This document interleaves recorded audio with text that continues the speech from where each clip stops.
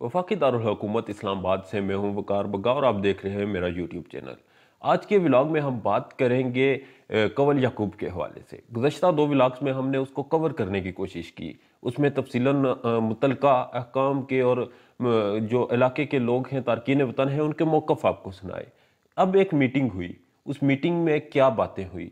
क्या कवल याकूब की जो गुमशुदगी है, उसको अगवा का नाम दिया जा सकता है? क्या कोई दुश्मन है जो जिन्होंने उस बच्ची को अगवा किया? क्या वर्षा को किसी पे शक है? क्या वर्षा जो पुलिस है उसकी करदगी से मुतमिन है? क्या पुलिस ने अब तक कुछ किया है या फिर सिर्फ़ इलाके के चक्कर काट रही है? ज़ाहिर सी बात है, ये सारे एलिमेंट जो हैं, ये ज़रूरी हैं। इन पे सब पे नज़र दौड़ानी पड़ती है। अब एक सबसे अहम और मुश्किल मरहला ये है कि हम व्लॉग करें। ज़ाहिर सी बात है, बेशुमार लोगों की जो इस वक्त, इस केस के साथ केस पे नज़रें जमी हुई हैं, वो वो इंतज़ार में हैं कि कहीं से पॉजिटिव खबर आ जाए। और इसी इसी दौरान एक सबसे मुश्किल मरहला ये आ गया है कि पुलिस की इन्वेस्टिगेशन पे हम बात नहीं कर सकते। क्योंकि अगर हम उस पर बात करेंगे, पुलिस कहाँ तक पहुँची तो जो अगर उसको हम कहें कि कवल अगवा हुई है, और अगर किसी ने अगवा की है तो फिर मुजरमों को उसकी इतलात मिल जाएँगी, उसका फ़ायदा हो जाएगा। ये मैं नहीं कह रहा, ये उस मीटिंग में बातें भी हुई हैं। पुलिस ने भी डके छुपे अल्फाज में बातें की हैं, उन्होंने कहा है कि वो कोशिश कर रहे हैं और इन जल्द नतज देंगे। अब इसमें एक गाड़ी है, जो जो मशकूक गाड़ी है, उसकी भी तहकीक की जा रही है, उसको ढूंढा जा रहा है, वो अभी तक नहीं मिली। और इसके अलावा कुछ और भी चीज़ें हैं जिसके हवाले से आज की वीडियो में बात करेंगे। सबसे पहले तो मैं advocate Supreme Court, Raja Imtiyaz हैं जो मीटिंग हुई डडियाल कठाड़ में। उसमें वो शरीक थे और उस, उसकी क्यादत भी वही कर रहे थे और उसके सरकर्दा शख्सियात में वो थे। सबसे पहले तो राय साहब का मौक़ जान लेते हैं। उनकी उनसे आज मेरी तफसीला बात हुई। सबसे पहले जानते हैं कि मीटिंग में हुआ क्या और इस सारे मामले के पहलू क्या हैं। उसके बाद मज़ीद गुफ्तु को आगे बढ़ाते हैं। राजा मुझे ये बताएँ कि ये जो बच्ची किडनैप हुई है इस हवाले से आप बहसीत एक आम शहरी और एक सोशल एक्टिविस्ट आप किस नज़र से देखते हैं इस मामले को और ये मामला था हाल कहाँ तक पहुँचा है ये बच्ची तकरीबन एक हफ़्ता हो गया है गुमशुदा है अगवा है या कोई और वाक़ अभी तक हम किसी अतमिन चीज़ें पर नहीं पहुँच सके हम्म, हम्म। ये पुलिस भी जो है तफ्तीश कर रही है कल ये हुआ कि हम तमाम गाँव वालों ने मीटिंग की अहल इलाका को बुलाया और सबकी राय ली। ठीक तो है। तो पुलिस को भी वहाँ पर बुलाया गया। पुलिस ने भी जो अब तक तफ्तीश की है उसके हवाले से उन्होंने बताया है। चार पाँच पहलू हैं जिन पर पुलिस तफ्तीश कर रही है। तो ना वो उसको देख रही है। वो तो चा, चार पाँच पहलू कौन से हैं? उनमें क्या हो सकता है? एक तो बच्ची खुद गुम हो गई है दूसरा की उसको अगवा किया गया है या किस तरह के पहलू है वो? वाला पहलू भी मौजूद है कि ऐसा हो सकता है कि क्योंकि शाम के टाइम जो है ना बच्ची वो घर से बाहर निकली है रोड पर नहीं पता चला तो अगवा वाला वाक़ा भी हो सकता है। बल्कि एक राय ये भी है कि एक गाड़ी कोई नामालूम या कि टू डी पुरानी करोला को वहाँ से मैं देखी है गुजरते हुए। उस गाड़ी का फिर पता नहीं चल रहा। ठीक है वो मुश्को गाड़ी थी। वो मुश्को गाड़ी थी। तो हम्म। एक तो वो अगवा वाला पहलू भी हो सकता है। और कुछ डिफरेंट जो है और भी जो है ना वो पुलिस के जहन में बातें आती हैं कि ये भी हो सकती हैं।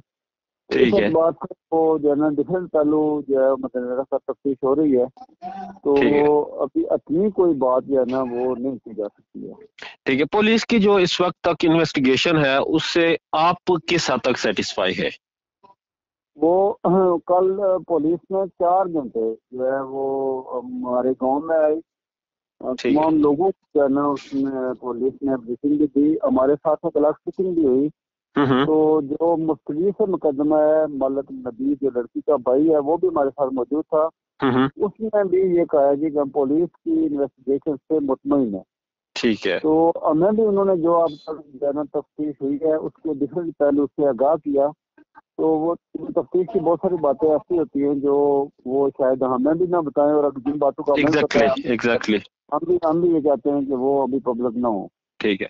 मुझे राय साहब, आप ये बताएँ, आप वकील हैं, आपने बहसीत एडवोकेट और बहसीत एक सोशल एक्टिविस्ट इस तरह के केसेस भी देखे होंगे, अदालतों में आपने उनके मुकदमात भी भुगते होंगे। तो मुझे ये बताएँ कि इस तरह का जो वाक़ होता है, क्या पुलिस का अभी सात दिन हो चुके हैं इस वाक्य को तो ये एक मामूली टाइम है या गैर मामूली पुलिस का है कि सात दिन तक कुछ सुराग नहीं मिल सका? कि बच्ची ज़िंदा है, खुदा न हंसता, उसको कुछ हो गया है, वो हुआ है, या कुछ भी, अभी तक तो सिर्फ़ चमगोई जारी हैं, जो मैं भी कर सकता हूँ, एक आम होटल पे बैठा इंसान भी कर सकता है। पुलिस की कोई ऑथेंटिक भी आपको लगती है कि तफ्तीश है, या सिर्फ़ दवाओं पे और चमगोइयों पे अभी तक काम जारी है? जहाँ तक इस बात का तल्लक है कि पुलिस किसी अपनी जगह पर पहुँची है। अभी ये बात तो नहीं है क्योंकि अभी कोई ऐसा मुजम पुलिस ने विचार नहीं किया है जहाँ से सुराग जो है फाइनल हो जाए। हम्म, हम्म। अलग डिफरेंट पहलू हैं जो इन पर तफ्तीश जारी है हाँ ये बात सही है कि इतने दिन गुजरने के बावजूद कोई अभी तक की जाँच नहीं निकल सका ना बच्ची बाजियाब हुई है। और ना किसी मुजरम का अभी तक प्रॉपरली कोई सुराग मिल सका। तो इसको तो इसको हम इस नज़र से देख सकते हैं कि पुलिस की सुस्त रवि है सिस्टम की नाअहली है और रियासत एक बच्ची को तहफ़ देने में नाकाम हुई है। कह सकते हैं सिस्टम की जो है ना वो फेलियर है और ये भी कह सकते हैं कि साइंस की जो तरक्की हुई है हमारा मुल्क अभी उसके साथ मैच नहीं करता बिल्कुल हमारा तो बहुत ही पसमानदा है हम्म। हाँ, ये। कह सकते हैं कि रियासत की बेइज्जती पर भी लोगों ने कल जो है ना वो बड़े एतराज़ उठाए कि कोई वजर सदर या दीगर किसी जुम्मेदार वज़ीर ने भी अब तक कोई इसका एक्शन नहीं लिया है ये बहुत बड़ी बेइज्जती की बात है हम्म। लेकिन एक बात मैं आपको बताऊँ कि वहाँ पर जो जो घर के अफराद हैं जो जो इसकी तफ्तीश करवा रहे हैं उनका कहना यह था कि जो मुकामी पुलिस है मतलब जो मुकामी एस एच ओ साहब है या डी एस पी साहब है उनकी हद तक वो कहते हैं कि सौ फ़ीसद हमारे साथ तावन है। ठीक है। इस हद तक तो जो है ना वो एग्री करूँगा कि रात को हम जो है ना वो मैं भी गाँव में गया था हम लोगों हमने लोगों को बुलाया था। रात के तकरीबन एक दो बजे तक पुलिस जो है ना वो वहाँ पर रही है पूछताछ करती रही है तफ्तीश करती रही है हर तरह की जो है ना वो हालात वाकत के जायजा लेती रही है। वो रोज हम जाते हैं। जो कफ नाले हैं, खड्डे हैं, वहाँ भी जाते हैं, जो ये कैमरे लगे हुए जिस भी डिफरेंट जगहों पर, वो कैमरे भी चेक करें। अपनी तरफ़ से जो है ना जो डीएसपी साहब ने हमें ब्रीफिंग दी है मैं समझता हूँ कि जो हम लोग थे कमेटी है पाँच बंदों की उन पाँच बंदों ने उनकी उस ब्रीफिंग पर खासा इतमान का आधार किया ठीक कमेटी मुतमिन है जो गाँव वालों की इस मामले पे बनी थी। मुझे मुझे एक और चीज़ बता दें कि नबील ने पहले दिन हमें बताया था कि दो बंदू पे जिनके साथ उनकी कोई दुश्मनी चल रही है उनके नाम उन्होंने पब्लिक तो नहीं किए थे पुलिस को उनके नाम उन्होंने बताए थे। तो उन दो बंदों के हवाले से कुछ इतलात हैं कि पुलिस ने कुछ इन्वेस्टिगेशन की या उनसे या वो कहाँ पे किस पोजीशन पे हैं वो दो बंदे? डिफरेंट बंदों को डिफरेंट टाइम गिरफ़्तार किया है।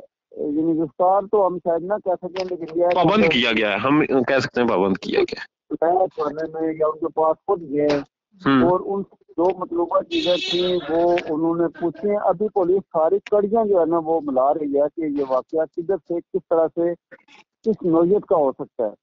तो वो जो भी उनको जो है ना, वो छटपट है जिस जो हमें ब्रीफिंग मिली है, जो हमने जाना है, जिसको मैं भी पब्लिक नहीं करना चाहता, उन्होंने तमाम जो है ना, जो जहाँ से कोई सवाल मिलता है, वहाँ चले जाते हैं, पूछते हैं उसकी, फिर वो कड़ियाँ मिलाते हैं, फिर देखते हैं कि ये वकुआ कैसे, किस तरह से हो सकता है। वो मेरे ख्याल में दो तीन दिनों तक शायद जो है ना वो सारी चीज़ें वो मंजर इनशाला इनशाला दो तीन दिनों तक दुआ है कि मामला सुलझ जाए बच्ची मिल जाए। मगर राय साहब आप अदालतों में रहते हैं आप जराइम पेशा अफराद से मिलते रहते हैं। तो मुझे इतना सा बता दें कि ये जो वाक्य हुआ है क्या ये जिस तरह से डडियाल जैसे इलाके में, डडियाल में लड़ाइयाँ हुई हैं बेशुमार, कत्ल भी हुए और हर तरह के मामला हुए मगर छोटी बच्ची को अगवा करने वाला वाकया अपनी नोयत में एक अनोखा वाकया है। तो आप इसको बैसियत डडियाल का शहरी किस नज़र से देखते हैं कि क्या कोई डडियाल का मुकामी शख्स इस तरह की हरकत कर सकता है, या क्या हम प्रिडिक्ट कर सकते हैं कि कोई गैर रियासती इसमें इन्वॉल्व है? ये जो आपने फरमाया कि ये बच्ची के अगवा वाला मामला अगर अगवा है तो फिर तो बहुत सारी चीज़ें हो सकती है दुश्मनी भी हो सकती है कोई और जो है ना मामला भी हो सकता है कोई खतरनाक सूरत भी हो सकती है। लेकिन अभी हम अपनी ये बात कह भी नहीं सकते हैं कि ये अगवा है या इसके बिहाइंड को और कहानी है। हम्म। इसलिए जो है ना जब तक ये बात न तय हो जाए कि ये अगवा का वाक्य है उस वक्त तक जो है कोई बात भी कर प्रेडिक्शन भी नहीं कर सकते हम। हम्म, हम्म, राय साहब बहुत शुक्रिया आपके वक्त का। जजाकला सर मेहरबानी। जी हाँ आपने देखा जिस तरह से आज का ये जो गुजशत रोज़ एक मीटिंग हुई उसमें सारी बातें इस जो रिकॉर्डिंग है ये जो कॉल हमारी हुई राजा इम्तियाज़ साहब के साथ उसमें तकरीबन सब चीज़ें कवर करने की कोशिश की मैंने। अब बात यह है कि जो बच्ची अगवा हुई है या गुम हुई है या जो भी है, एक तो हम अभी तक उस पर पहुँच नहीं सके कि वो बच्ची अगवा है या गुम हुई है। दूसरा, अगर एक गाड़ी है, मशकूक गाड़ी है तो पुलिस क्या कर रही है? पुलिस के नाके क्यों लगाए गए हैं? क्या पुलिस अगर एक गाड़ी नहीं चेक कर सकती, एक छोटा सा रीजन है हमारा, डडियाल डिस्ट्रिक्ट मीरपुर, इसके, इस, हर तरफ़ नाके लगे हुए हैं, हर तरफ़ पुलिस है। तो अगर मशकूक गाड़ी है तो वो गायब कहाँ हो गई?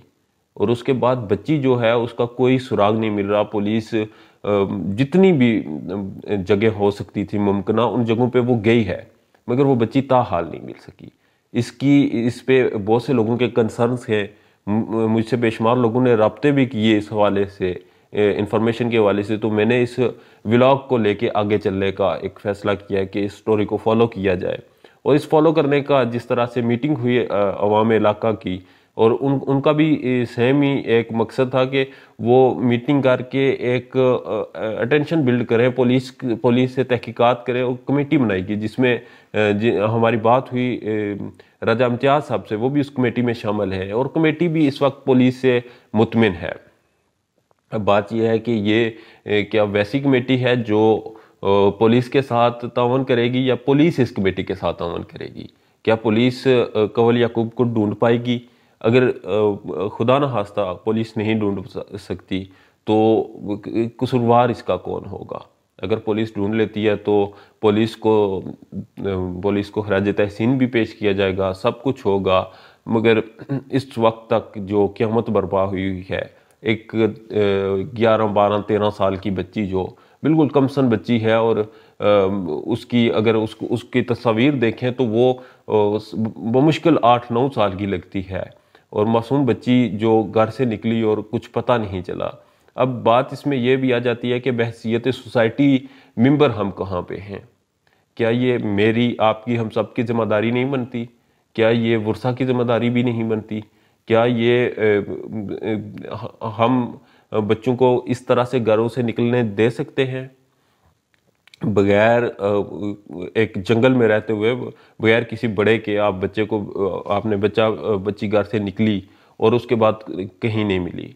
इस इस, अब तक की जो मेरी एक इस पर रिसर्च है और सारा कुछ फॉलो किया है तो जो हमारे इलाके हैं, इसमें फेरी बाँध बहुत ज़्यादा आते हैं।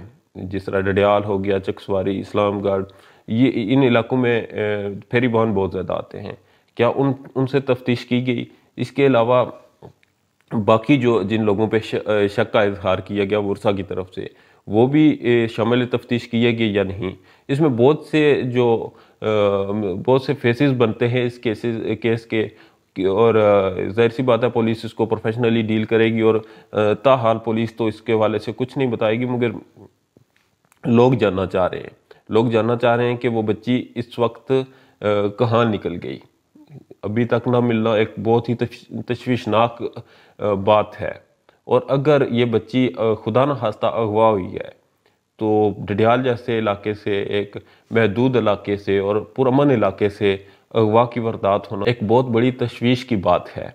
तो अब देखते हैं कि पुलिस की कारकर्दगी कहाँ तक पहुँचती है पुलिस की कार्रवाई कहाँ तक पहुँचती है और आ, आ, हमारी दुआएँ कितनी रंग ले आती हैं। मुझे उम्मीद है कि दो से तीन दिन में कुछ ना कुछ हमें रिज़ल्ट मिल जाएँगे।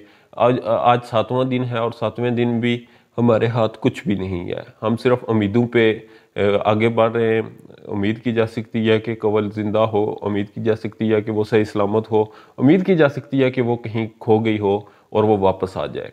बहरहाल, जो भी है, ये अभी सिर्फ़ दुआओं पे आसरा किया जा रहा है। सिर्फ़ चमगोइयों पे बात की जा रही है। अब देखते हैं कि जिस ये मामला किस तरफ़ जाता है। इजाज़त दीजिए, अपना ढेर सारा ख्याल रखिए, मेरे चैनल को सब्सक्राइब कर लीजिए ताकि हमारा साथ जुड़ा रहे। तो इस इस मामले पे प्रॉपर फॉलो अप करेंगे। इन कल दोबारा मिलते हैं इसी मामले के फॉलो अप के साथ और करंट अफेयर के किसी इंटरेस्टिंग टॉपिक के साथ। अपना ढेर सारा ख्याल रखिएगा। अल्लाह ने के